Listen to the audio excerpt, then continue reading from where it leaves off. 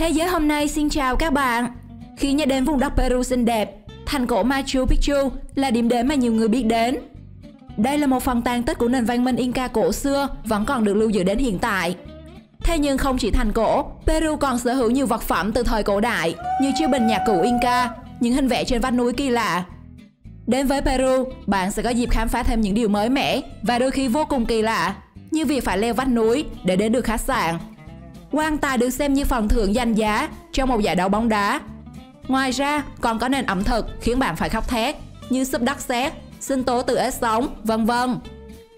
Không mất thời gian nữa, hãy cùng thế giới hôm nay tìm hiểu 15 điều điên rồ chỉ có ở Peru, khiến thế giới không thể hiểu nhé.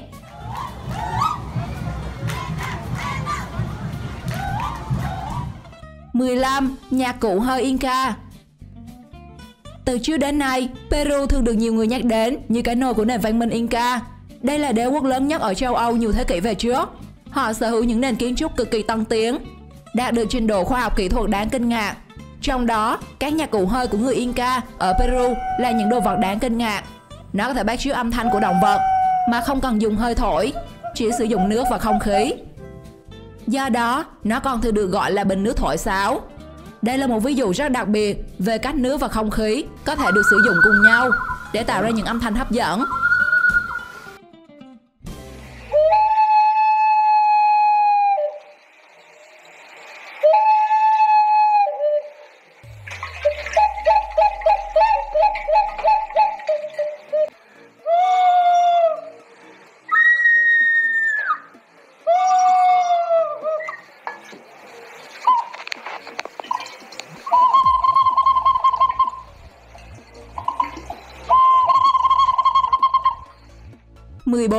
Đánh nhau mừng năm mới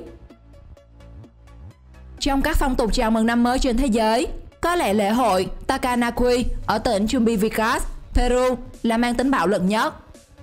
Trong ngày diễn ra sự kiện, những người tham gia với tâm thế Tao nhìn mày lâu lắm rồi nhé sẽ được tác động vật lý lên người hàng xóm khó ưa trong một năm qua. Tuy nhiên, không phải họ bay vào đánh tới sức đầu mẹ chán đâu. Các trận đấu vẫn có trọng tài. Và trong khoảng một phút đánh đấm, người tham gia phải theo các điều luật được đưa ra và trong bất cứ trường hợp nguy hiểm nào, trọng tài sẽ can thiệp dừng trận đấu. Và sau mỗi màn giải tỏa, mọi người thường trao nhau những cái bắt tay, cái ôm thân thiện để bắt đầu một năm mới vui vẻ với nhau. Theo bạn, nếu Việt Nam cũng tổ chức một lễ hội thế này thì sẽ như thế nào? Chia sẻ xuống dưới cho mọi người biết nhé.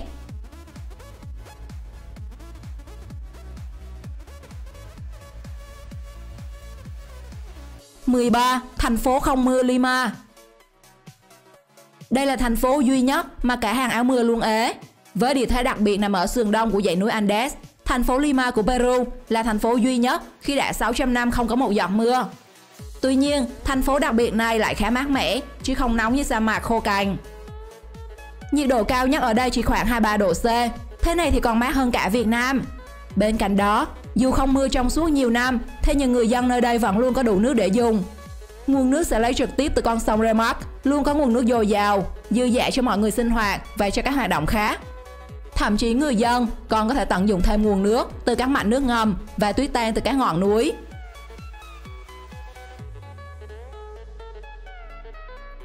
mười hai Giải bóng đá Copa Atodes Peru quả thật là một nơi rất đặc biệt khi quan tài, một món đồ luôn gắn với những nỗi buồn và chết chóc, lại là phần thưởng giá trị trong một giải bóng đá.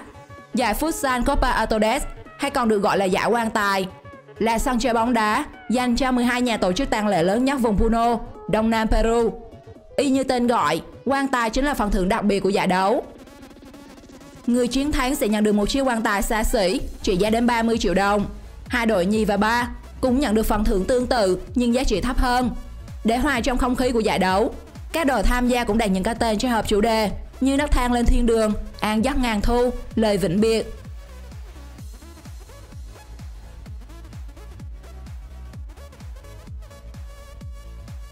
mười một Khách sạn lơ lửng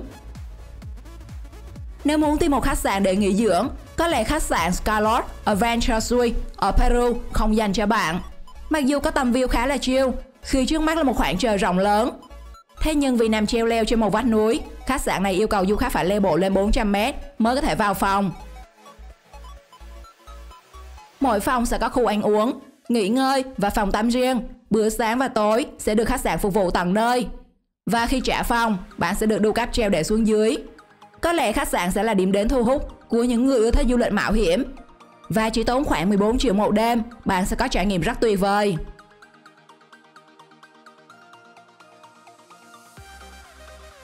Mười Món ăn kinh dị Ẩm thực có lẽ là điều thú vị nhất của mỗi đất nước. Bên cạnh những món ăn vừa nghe mùi, bụng đã cồn cao, thế nhưng cũng có những món khiến du khách vừa nhìn đã bỏ chạy. Như ở Peru, chính là sinh tố ếch. Những con ếch nơi đây sau khi được làm sạch, thay vì đem chiên xào hay kho như chao ếch Singapore, thì người Peru lại cho ếch tươi vào cối sinh tố, thêm hỗn hợp các loại rau củ, gia vị, xoay nhuyễn, lọc bỏ xương rồi uống trực tiếp mà không qua nấu nướng.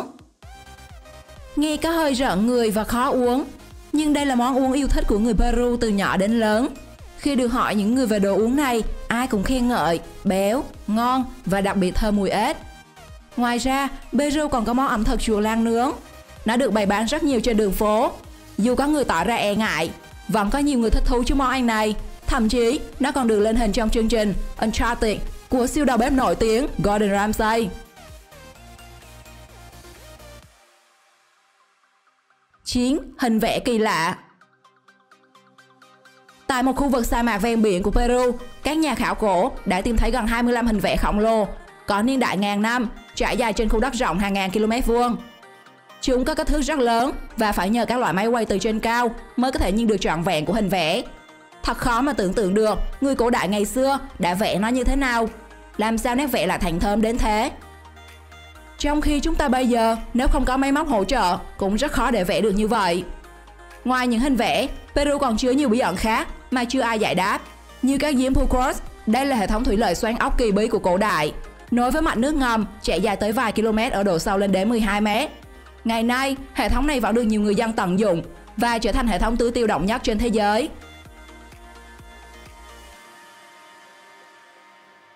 Tám, wall of Sam Ở vùng ngoại ô, wall of Sam, bức tường hổ thẹn đã được dựng lên ngăn cách khu nhà giàu và khu dân nghèo, nhằm ngăn chặn những người nghèo sẽ trộm cắp, phạm tội.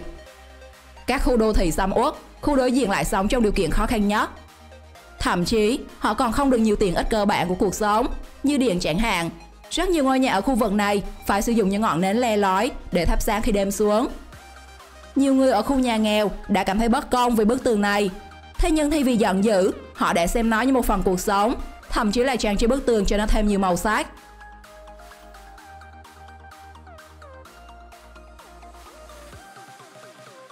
Bảy, cầu cỏ Nếu bạn nghĩ cầu khỉ Việt Nam đã là đỉnh cao của sự mạo hiểm thì bạn nhầm rồi. Cầu cỏ ở Peru mới thực sự là nỗi sợ hãi. Cây cầu được gọi theo nguyên liệu tạo nên nó chính là cỏ. Một loại cỏ có tên là khoai da sẽ được người dân thu hoạch sau khi phơi khô các cọng cỏ sẽ được bệnh lại thành một cọng da thần lớn, sau đó được bát ngang cố định ở hai đầu cầu.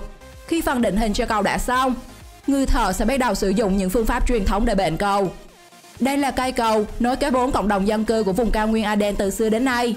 Hàng năm, cứ vào tháng 6, hơn 1.000 người từ các cộng đồng sẽ tụ họp để cùng làm lại cây cầu này.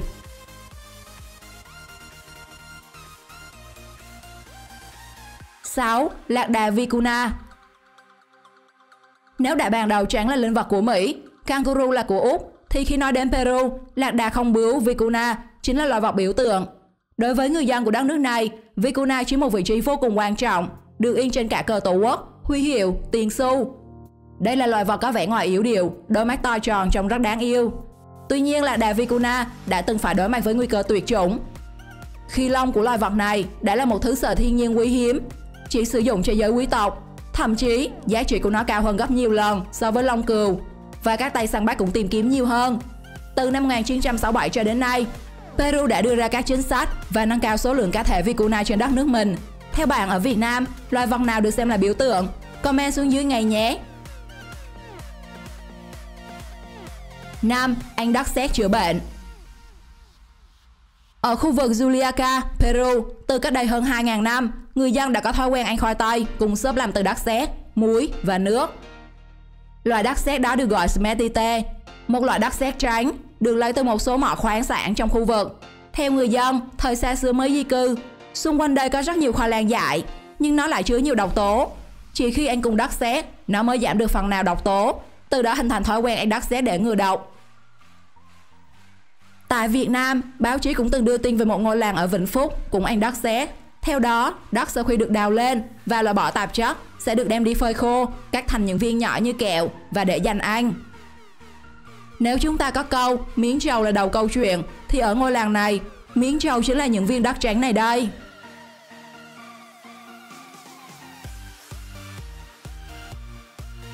bốn Máu rồng và quanh khu chợ ở Peru, chắc chắn các du khách sẽ phải đứng hình trước một thứ nước màu đỏ, được người dân gọi là máu rồng. Nó được giới thiệu như một thứ thần dược, có thể bôi ngoài da để giảm đau khớp, thậm chí có thể uống hàng ngày để hỗ trợ bệnh viêm dạ dày. Gọi là máu rồng, thế nhưng nó lại không lấy máu từ bất cứ con rồng hay con vật nào. Thực tế, nó được chiết ra từ vỏ cây Croton lesleri, một loại cây ở Nam Mỹ. Chỉ cần cách một đoạn, dòng chất lỏng đỏ như máu sẽ được tuôn ra và người bán sẽ chiếu vào các chai nhỏ để bán cho người dùng. Không chỉ máu rồng, có lẽ bạn phải đứng tim bởi một thau kính thưa các loại xương hàm đáng sợ như thế này. Từ trâu, bò, dê, ngựa, tất cả đều có đủ. Thật không biết họ bán những thứ này để làm gì.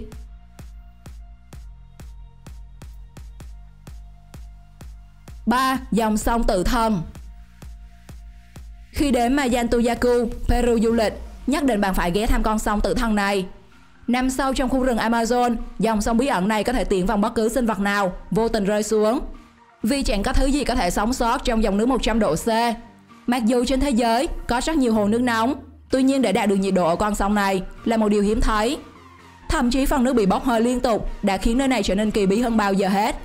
Với cái tên Sanay Timpica, những người dân nơi đây tin rằng con sông chính là sự phản chiếu của sức nóng mặt trời. Có người tin rằng đây là nguồn nước từ Yakumama, mẹ nước trong thần thoại của họ.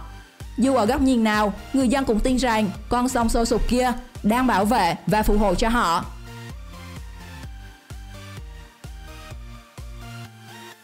Hai, luật cấm về thú nuôi. Đối với những người yêu chó, mèo hay những con vật nuôi khác, Peru dường như là dành cho họ.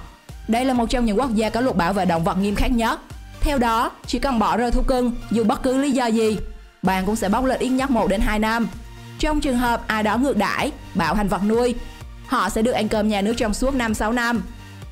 Nếu Việt Nam cũng có những điều luật này, có lẽ nạn trộm chó ở nước ta sẽ giảm khá mạnh các bạn nhỉ? 1. Ốc đảo Hucachina Nằm giữa lòng sa mạc khô cằn của Peru là một ốc đảo Hucachina vạn người mê. Nó như một thứ ảo giác mà những kẻ lạc lối nơi sa mạc luôn nhìn thấy. Làm thế nào lại có một vùng đất rờ bóng cây, cùng hồ nước khổng lồ xuất hiện giữa một biển cát nóng. Mỗi năm, nơi đây thu hút hàng chục nghìn lượt du khách ghé thăm, không chỉ nghỉ ngơi thư giãn. Đến đây, bạn có thể tham gia rất nhiều hoạt động vui chơi như trượt cát, lái xe địa hình. Và đặc biệt, buổi tối khi ốc đảo lên đèn, nó sẽ có khung cảnh cực kỳ tuyệt vời và lãng mạn.